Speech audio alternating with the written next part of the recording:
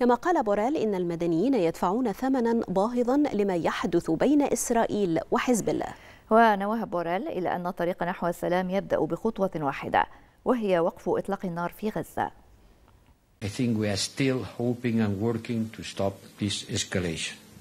على الرغم من الإشارات المثيرة للقلق أعتقد أننا ما زلنا نأمل ونعمل على وقف هذا التصعيد.